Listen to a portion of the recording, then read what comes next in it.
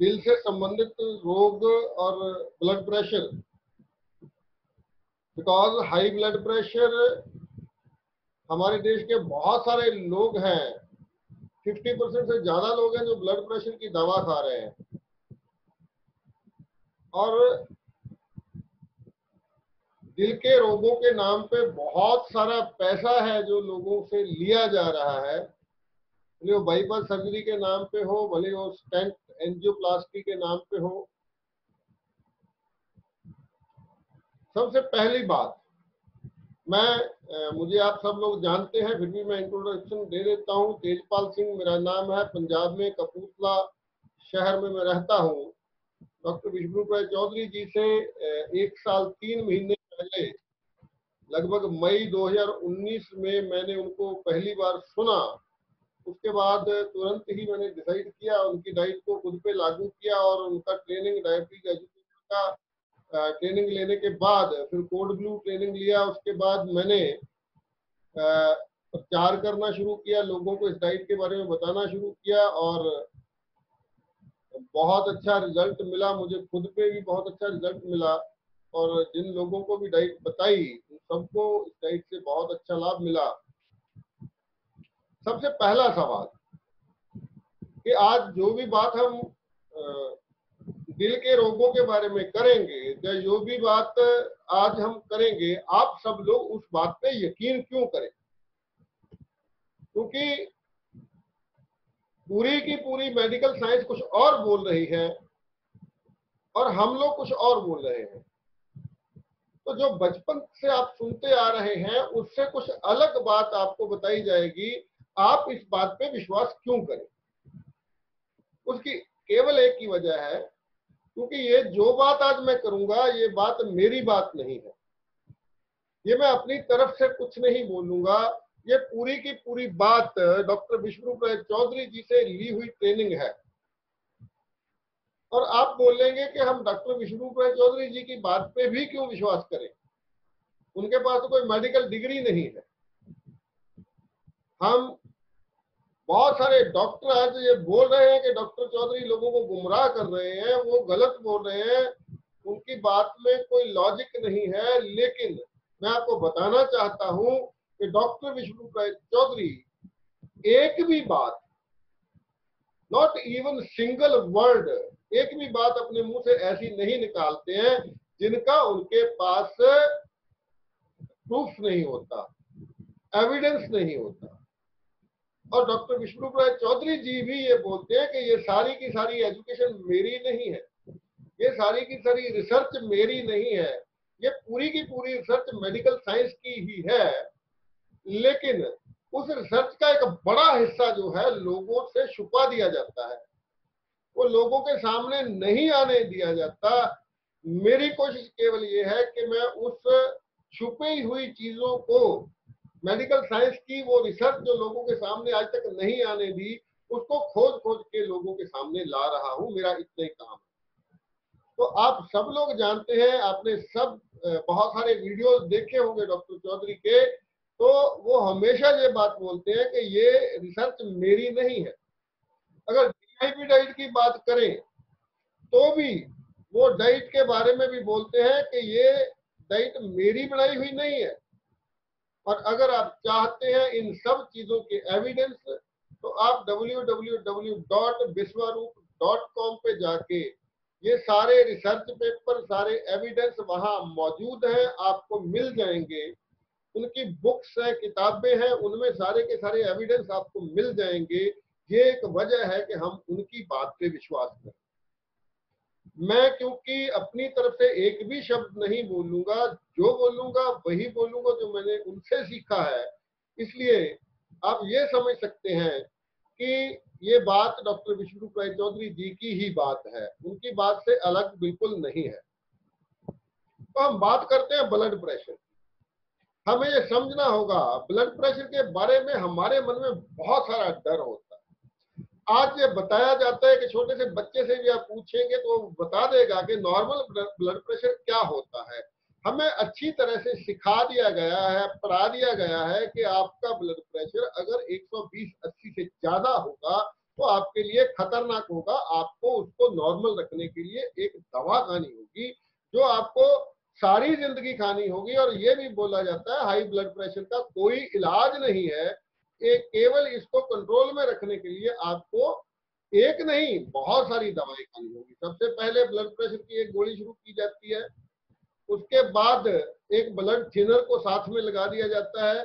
फिर टेस्ट किए जाते हैं। आपका cholesterol H D L L D L triglyceride वो सब चेक किया जाता है। तो आपको एक और दवा साथ में लगा दी जाती है, जिसको कोलेस्ट्रोल लोरिंग ड्रग बोला जाता है स्टैटिन बोला जाता है। तो आज मैं आपको बताना चाहता हूँ कि आज से 40 साल पहले 1979 1980 की बात करें तो तब 160 100 को नॉर्मल ब्लड प्रेशर माना जाता था। ये आंकड़े बताते हैं, ये फैक्ट्स बताते हैं, ये इसके बहुत सारे एविडेंस हैं कि 1979 के आसपास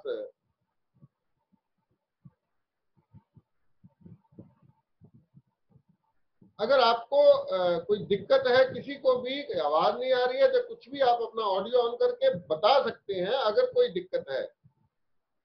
तो अदरवाइज़ आप अपना ऑडियो बंद रखिए। हैंड अप करेंगे आप तो हो सकता है मेरा ध्यान ना जा पाए। आप सिंपल अपना ऑडियो ऑन कीजिए और आ, मुझे इंटरप्ट कर सकते हैं आप। अगर कोई दिक्कत है तो आवाज़ नहीं सुनाई दे रही है या कोई और दिक्कत है। तो मैं बात कर रहा था कि हमें ये देखना होगा। बहुत सारी बातें रिसर्च की बातें नहीं होती हैं, बहुत सारी बातें केवल कॉमन सेंस की बातें और कॉमन सेंस हर इंसान के पास होती है।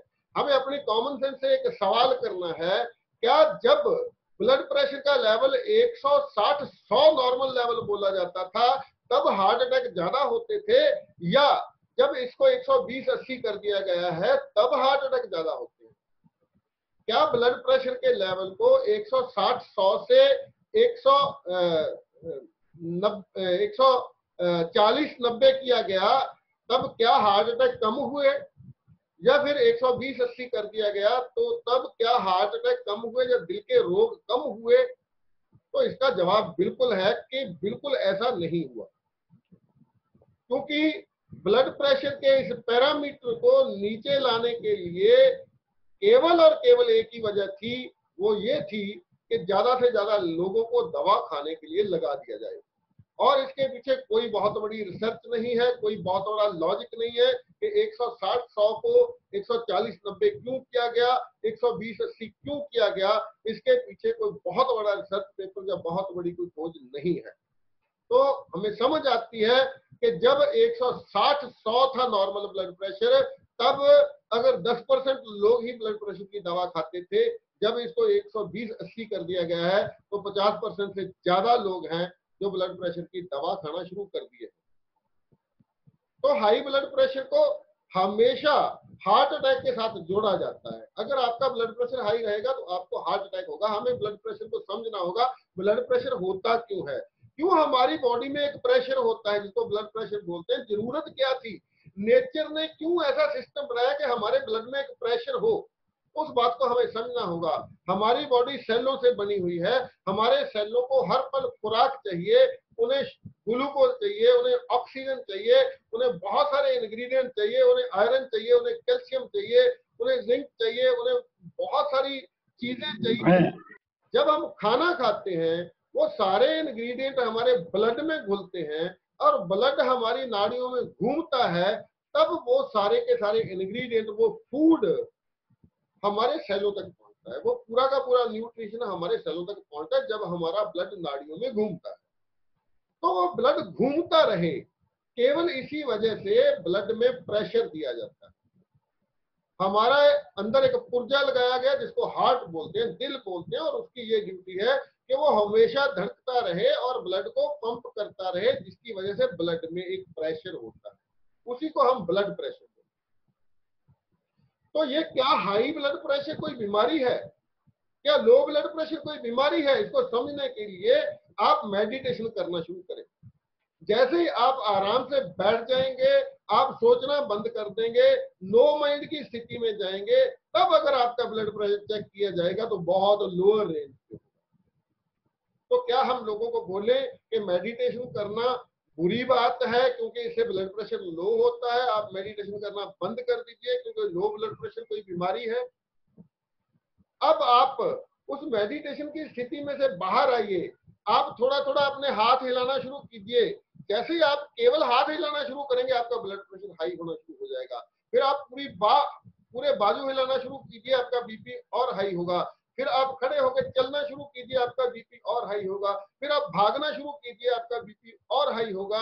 और जब आप तेज़ी से भागेंगे तो आपका बीपी हायर रेंज पे चला जाएगा, जहाँ ये डॉक्टर बोलते हैं कि अब आपको कभी भी हार्ट अटैक हो सकता है। इसका मतलब अगर हाई बीपी बीमारी है तो क्या हम सारे खिलाड़ियों को बोल दें कि आप खेलना बंद कर दीजिए, आप सारे एथलीटों को बोल दिए, दीजिए कि आप दौड़ना बंद कर दीजिए, आप किसी टूर्नामेंट में जाना बंद कर दीजिए ओलंपिक में जाना बंद कर दीजिए, क्योंकि जब आप दौड़ते हैं, जब आप खेलते हैं तो आपका ब्लड प्रेशर हाई हो जाता है हाई ब्लड प्रेशर तो एक बीमारी है।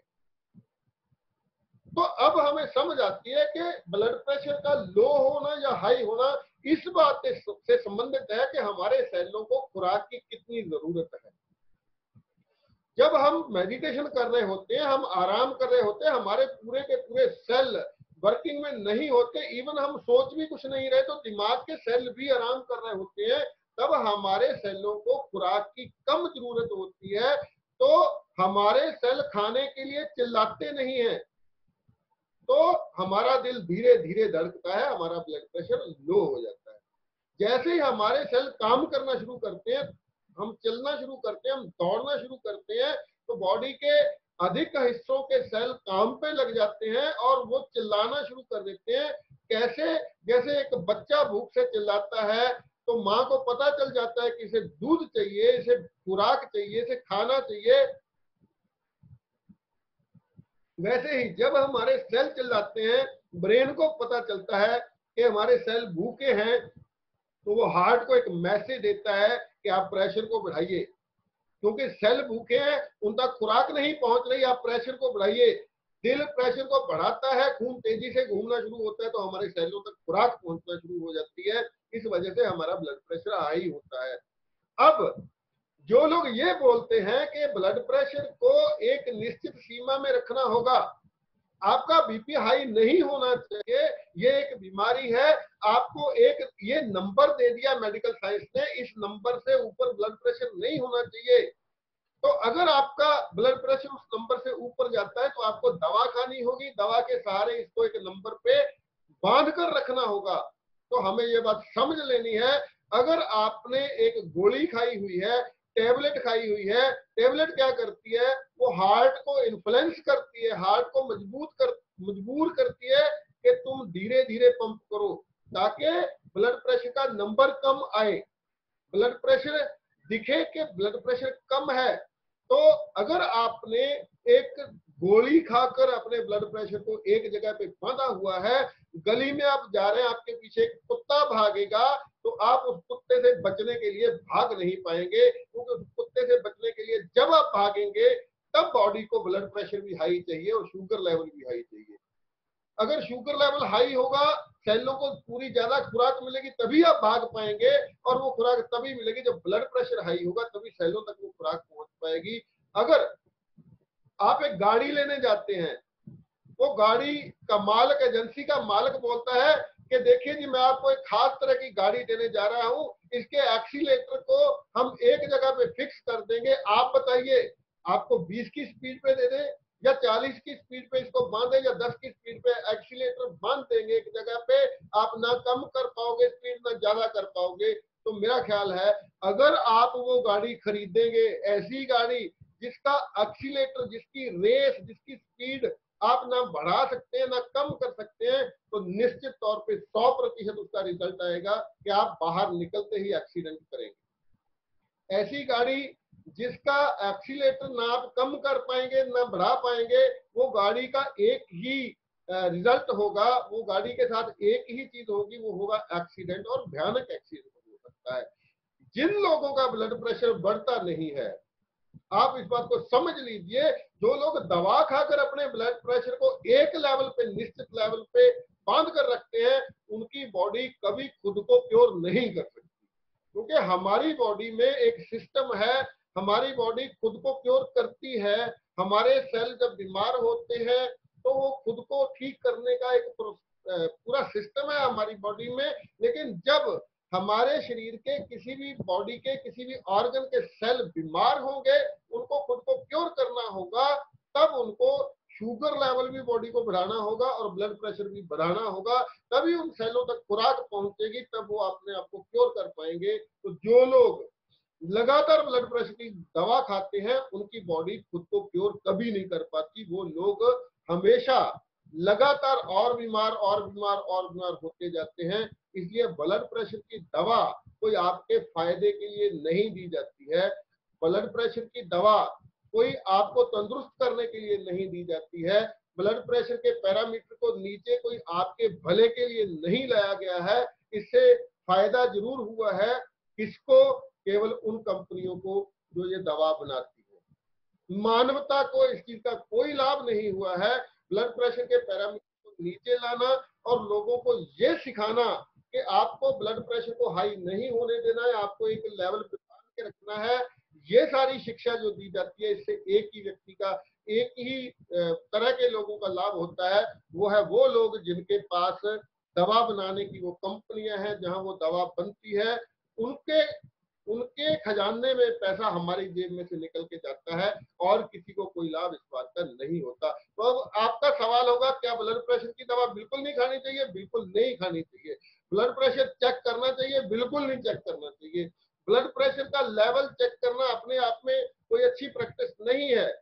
कब चेक करना चाहिए? जब आपको कोई सिम्टम आता है। मान लीजिए, बिना वजह आपका सर दुख रहा है, बिना वजह आपको कोई चक्कर आ रहा है, बिना वजह आपकी बॉडी में किसी तरह का कोई लक्षण आ रहा है, तब आप ब्लड प्रेशर को चेक कीजिए। अदरवाइज़ क्यों बार बार लोगों ने मशीनें घर ला के रख ली हैं। लगातार ब्लड प्रेशर को चेक किया जाता है। और जब वो थोड़ा सा बड़ा हुआ आता है, हम मानसिक तौर पे डर जाते हैं, मानसिक तौर पे घबरा जाते हैं तो हमारा ब्लड प्रेशर और बढ़ जाता है और हमारी इम्यूनिटी लो हो जाती है, हम और बीमार होना शुरू हो जाते हैं। तो अगर आपका blood pressure doctor Vishnu Chaudhary ji ने पूरी रिसर्च को खोज कर ये एक एक अंक बनाया है, वो है 250 अगर आपका ब्लड प्रेशर नीचे वाला और ऊपर वाला डायस्टोलिक और सिस्टोलिक दोनों को जोड़िए।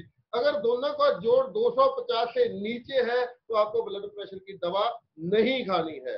आप ब्लड प्रेशर के मरीज़ नहीं हैं। वैसे भी रिसर्च ये बताती है कि पूरी दुनिया के जितने लोग ब्लड प्रेशर की दवा खा रहे हैं, उनमें से 60 प्रतिशत लोग 60 परसेंट लोग ब्लड प्रेशर के मरीज़ नहीं है। वो व्हाइट कोट सिंड्रोम के मरीज़ हैं। व्हाइट कोट सिंड्रोम मतलब वो डॉक्टर के कैबिन में जब जाते हैं, डॉक्टर का कोट, सफ़ेद कोट देखते हैं, उसकी डिग्री देखते हैं, उसकी नेम प्लेट देखते हैं, उसका चेहरा देखते हैं, तब उनका ब्लड प्रेशर बढ़ जाता है। डॉक्टर उसी बढ़े हुए ब्लड प्रेशर को देखकर दवा लिख देता है, लेकिन जैसे वो लोग कैबिन से बाहर आते हैं, उनका ब्लड प्रेशर नॉर्मल आ जाता है। वो ब्लड प्रेशर के मरीज़ नहीं है। लेकिन वो पूरी उम्र के लिए दवा पे उनको डाल दिया जाता है। तो अगर लगातार और अगर एक बार आपने कभी ब्लड प्रेशर चेक किया, आपका ब्लड प्रेशर 250 की जगह उनका ज़ोर 270 आ गया, इसका मतलब ये नहीं है कि आप दवा खाना शुरू कर दें। अगर दूसरे दिन, तीसरे दिन, चौथे दिन, एक हफ़्ता लगातार आपका ब्लड प्रेशर है नीचे ऊपर वाला जमा करके दो सौ पचास से ऊपर लगातार टिका हुआ, वो नीचे आ ही नहीं रहा, तब हमें सोचना पड़ेगा कि हमारे अंदर कहीं कोई ब्लॉकेज हो सकती है। ब्लॉकेज मतलब हमारी वो नाड़ी जिनमें से, जिसमें से ब्लड फ्लो करता है, उसका रास्ता टाइट हो गया है, जिसकी वजह से प्रेशर लगातार बढ़ रहा है और नीचे आ ही नहीं रहा। तो उसके बाद क्या हमें दवा खानी होगी? बिल्कुल नहीं दवा खानी होगी। उसके लिए डॉक्टर विष्णु भाई चौधरी ने एक डाइट प्रोटोकॉल दिया है। डीआईपी डाइट आप लेना शुरू करेंगे तो आपका ब्लड प्रेशर एक महीना लगेगा की हर तरह की ब्लॉकेज जो है, वो दूर हो जाएगी, खत्म हो जाएगी। और आप इस बात को अपने दिमाग से निकाल दीजिए, एक भी दवा अब तक एलोपैथी में ऐसी नहीं है जो ब्लॉकेज को हटा सके। अब हम ब्लड प्रेशर के बाद अगली बात करते हैं। किसी व्यक्ति को घबराहट होती है, छाती में दर्द होता है, पसीना आता है, हम डॉक्टर के पास लेके जाते हैं, हम हॉस्पिटल में लेके जाते हैं। डॉक्टर देखता है उसको वो बोलता है कि अब इसकी नाड़ियों में देखो जी ब्लॉकेज हो गई है 80 परसेंट हो गया 90 परसेंट अब तो इसके स्टंट डालना पड़ेगा। तो एक एंजियोग्राफी की जाती है, एक तार डाली जाती है, उसमें से पता चलता है कैमरा होता है उसके साथ, पता चलता है कि इसमें कहाँ कहाँ कितनी ब्लॉकेज है, और बता दिया जाता है, अब इसके स्टंट डलेगा।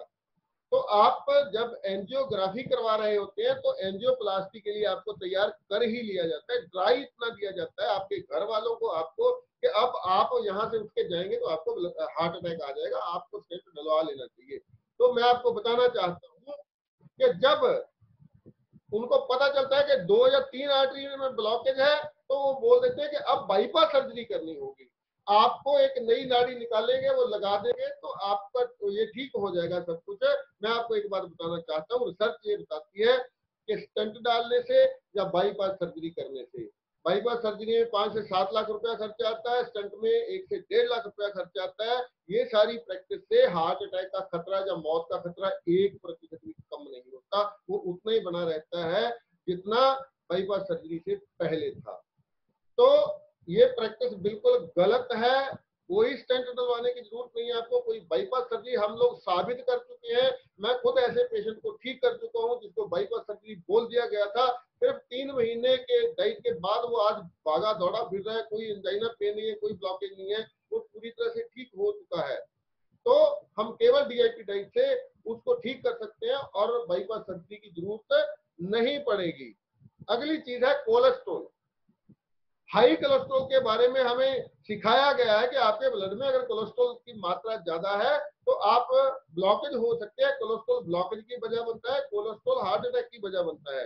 तो ये बात साबित हो चुकी है रिसर्च ये बता चुकी है कि कोलेस्ट्रोल का कोई इम्पैक्ट नहीं है। कोलेस्ट्रोल हाई कोलेस्ट्रोल की वजह से हार्ट अटैक नहीं होता है हाई कोलेस्ट्रोल मौत की वजह नहीं बनता है।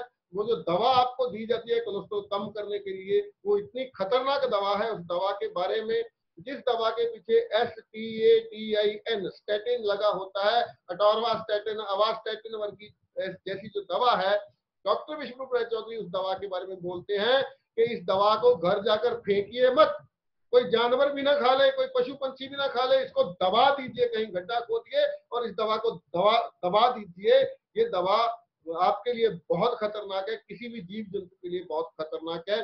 तो एफडीए अमेरिका ने उस स्टेटिन दवा को एक्स कैटेगरी दवा डिक्लेयर किया है। एक्स कैटेगरी का मतलब है, अगर किसी मर्द को बाप बनना है अभी, अगर किसी औरत को माँ बनना है, उसको ये दवा नहीं देनी चाहिए। बच्चा पैदा करने में दिक्कत आती है, बच्चे पैदा नहीं हो पाते, अगर आप कोलेस्ट्रॉल कम करने वाली दवा खाते हैं। ये दवा स्टेटिन एफडीए की वार्निंग है। ये मसल डैमेज की वजह बनती है, ये डायबिटीज़ की वजह बनती है, और ये दवा मेमोरी लॉस की वजह बनती है इसे ज़्यादा कम होती है। तो एक चीज़ हमें समझ लेनी है, आपने जब से ब्लड प्रेशर की दवा शुरू की है, जब से आपने खून पतला करने की दवा शुरू की है जब से आपने कोलेस्ट्रॉल कम करने की दवा शुरू की है, क्या आप तब से तंदुरुस्त महसूस कर रहे हैं? या तब से आप और ज़्यादा बीमार हो रहे हैं? एक ही चीज़ का ध्यान रखना है दोस्तों। समय कम है, खत्म हो जाएगा। पाँच, छह मिनट बाकी है। छह मिनट में मैं आपको दो तीन बातें बहुत इंपॉर्टेंट बताना चाहता हूँ। एक बात ध्यान में रखना है। आज तक हमारे दिमाग में ये डाला गया है कि दवाओं से आप ज़िंदा हैं। दवाओं की मदद से आप ज़िंदा है। ये गलत बात है, गलत धारणा है। अगर दवाओं की वजह से आप चिंता है, आप सिंपल एक कॉमन सेंस का सवाल है, आप अपने आप से करके देखिए। अगर दवा, आपकी दवा की मात्रा लगातार कम हो रही है तो आप मान सकते हैं कि ये दवा ठीक कर दी। पहले दस गोलियाँ दी गई थी, फिर पाँच हो गई, फिर तीन हो गई, फिर दो दवा बंद हो गई, इसका मतलब दवा ने आपको ठीक कर दिया। अगर आपकी दवा की मात्रा लगातार बढ़ रही है एक गोली से बात शुरू हुई, फिर दो हुई, फिर पाँच हुई, सात हुई, लोग बीस बीस गोलियाँ दिन की खाते हैं। अगर आपकी दवा की मात्रा बढ़ रही है, इसका मतलब है आप लगातार बीमार हो रहे हैं और बीमार हो रहे हैं, इसीलिए आपकी दवा की मात्रा लगातार बढ़ रही है। तो आज तक डॉक्टर विष्णु चौधरी बोलते हैं, कुछ लोग बोलते हैं, हमें दवा छोड़ने में डर लगता है। तो डॉक्टर विष्णु चौधरी बोलते हैं, एक भी ऐसा व्यक्ति दुनिया में बता दीजिए जो दवा छोड़ने से मरा हो। मौत दवा खाते खाते लोगों की होती है, दवा छोड़ने से आज तक किसी की मौत नहीं हुई है। तो दवा हम छोड़ सकते हैं, बिना वजह मत छोड़िए। वीआईपी डाइट शुरू कीजिए, जैसे जैसे आपके लेवल्स कम आते जाते हैं नेचुरल आते जाते हैं नॉर्मल आते जाते हैं, तैसे वैसे वैसे आप दवा को टेपर कर सकते हैं और एक दिन, दो से तीन महीने में आप हर तरह की दवा से फ्री हो सकते हैं मेडिसिन फ्री हो सकते हैं। दोस्तों टॉपिक बहुत लंबा है। इसके लिए आपको जानकारी अगर है नहीं तो मैं बता देना चाहता हूँ कि मेरा एक ट्रेनिंग प्रोग्राम है पूरी एक महीने की, रोज इसी टाइम सात बजे से आठ बजे तक एक क्लास होती है इसी जूम ऐप पे। वो ट्रेनिंग पूरा एक महीना चलती है, उसमें डायबिटीज़ जैसे आप ब्लड प्रेशर के बारे में आज कुछ बातें की है हमने डायबिटीज़ के बारे में थायराइड के बारे में, ये बीमारियाँ क्यों आती हैं और हम किस भूले, भ्रम में जी रहे हैं, कैसे हम हमें अज्ञानता की वजह से कैसे हमें ठगा जा रहा है, लूटा जा रहा है, आपको मैं एक बात और बताना चाहता हूँ कि टाइम्स ऑफ़ इंडिया की 2018 की रिपोर्ट है कि हर साल साढ़े पाँच करोड़ भारतीय लोग इलाज कराने के चक्कर में गरीबी रेखा में जा रहे हैं। साढ़े पाँच करोड़ लोग हर साल इलाज के चक्कर में गरीब हो रहे हैं। पहले वो गरीब नहीं होते, उनके घर बिक जाते हैं, उनके खेत बिक जाते हैं, उनके गहने बिक जाते हैं और वो गरीबी रेखा में चले जाते हैं। तो ये ट्रेनिंग प्रोग्राम है। इसकी एक लिटिल सी फ़ीस है। पाँच हज़ार रुपया फ़ीस लेता हूँ मैं इस ट्रेनिंग की और पूरा एक महीना जो व्यक्ति ट्रेनिंग को अटेंड करता है, उसको दोबारा किसी के पास जाने की ज़रूरत नहीं पड़ती। हर बीमारी को वो खुद हैंडल कर सकता है। हर बीमारी का इलाज वो अपने परिवार की, अपने आस पड़ोस के लोगों की, हर बीमारी का इलाज वो डाइट से नेचुरल तरीके से खुद कर सकता है। और इसके साथ ही इस फ़ीस को मैंने थोड़ा कम कर दिया है, मैं आपको बताना चाहता हूँ, कम किस तरीके से किया है, जो व्यक्ति पाँच हज़ार रुपया दे के मेरे से ट्रेनिंग ले रहे हैं, अगर वो चार लोगों को प्रेरित करेंगे ट्रेनिंग लेने के लिए तो उनका पाँच हज़ार रुपया उनको रिफंड कर दिया जाएगा, वापस कर दिया जाएगा। मकसद केवल एक है हम अधिक से अधिक लोगों को ट्रेन कर पाए। मुझे पता है, आप डॉक्टर चौधरी के ऑफ़िस में संपर्क करने की कोशिश करते हैं, नहीं हो पाता क्योंकि बहुत भीड़ है, बहुत रश है। आप मुझसे संपर्क करते हैं, मैं फ़ोन उठाता हूँ, लेकिन कुछ समय बाद मेरे साथ भी यही होने वाला है कि मैं सब लोगों के फ़ोन का जवाब नहीं दे पाऊँगा। इसका एक ही हल है, हम बहुत सारे लोगों को ये चीज़ सिखा दें। हमें, हम आत्मनिर्भर हो जाएँ, हम अपने आस पड़ोस के लोगों का, घर के लोगों का इलाज खुद करना शुरू कर दें, तभी इस समस्या का हल हो सकता है कि हम बहुत सारे लोगों को इन दवाओं के चक्कर से बचा लें, गरीब होने से उन लोगों को हम बचा लें, जो लगातार हर साल गरीब हो रहे हैं। तो दोस्तों, हर संडे ये सेमिनार होगा, इसमें 100 लोग जुड़ सकते हैं, आज केवल 57 लोग जुड़े हैं हमारी कोशिश है कि 100 लोग जुड़े इसमें। ये मुफ़्त का ज्ञान है और आप लोग इस ज्ञान को हासिल कर सकते हैं हर संडे बिना कोई पैसा खर्च किए और आप और अधिक लोगों को इस सेमिनार में ला सकते हैं।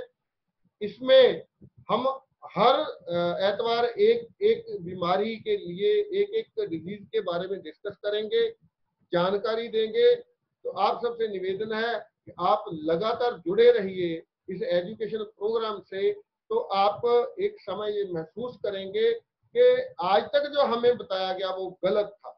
आज तक जितनी दवाएँ हमें खिलाई गई, वो बिना वजह खिलाई गई। आज तक जो ऑपरेशन हमारे किए गए, वो बिना वजह किए गए। कॉमन सेंस का ये एक सवाल आपसे करना चाहता हूँ। क्या हम डॉक्टर के पास इसलिए जाते हैं कि हम जाएँ, उसको फ़ीस दें और वो ये हमें बोल दे कि आपकी बीमारी का कोई इलाज नहीं है, आपको सारी उम्र ये दवा खानी होगी। जिस डॉक्टर के पास इलाज ही नहीं है, वो डॉक्टर किस चीज़ का है? क्यों हम उस डॉक्टर के पास जाते हैं?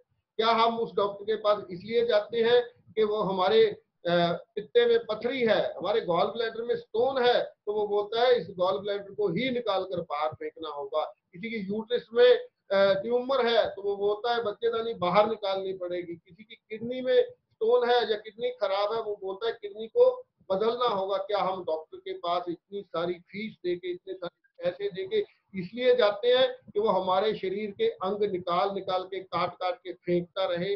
मानव शरीर कोई कार नहीं है, कोई गाड़ी नहीं है कि एक पुर्जा खराब हुआ, बाज़ार से नया पुर्जा लिया, वो लगा दिया और पुराना पुर्जा फेंक दिया। मानव शरीर कुदरत की अद्भुत रचना है। इसे किसी ऐसे नौसखे डॉक्टरों के हवाले मत कीजिए जिन्होंने आज केवल इलाज को एक धंधा बना लिया है जिनका मकसद केवल पैसा कमाना है, लोगों की सेहत उनका मकसद नहीं है। मीटिंग खत्म होने जा रही है, दोबारा हम नहीं जुड़ेंगे। मुझे लगता है इतना नॉलेज ही काफ़ी है। अगले इतवार हम फिर इसी वक्त जुड़ेंगे। आप सब लोग अपने और लोगों को, अपने फैमिली के लोगों को, अपने आस पड़ोस के लोगों को इस मीटिंग में जुड़ने के लिए बोलिए। ताकि हम उन लोगों को बता पाए कि उनके दिमाग में जो भरा गया है आज तक कि दवाओं के बिना आप ज़िंदा नहीं रह सकते, हम साबित करते हैं कि आप एक भी दवा खाए बिना सौ साल तक ज़िंदा रह सकते हैं। केवल अपनी खुराक के ज़रिए, केवल एक्सरसाइज के ज़रिए, केवल कुदरती सूरज की धूप लेकर आप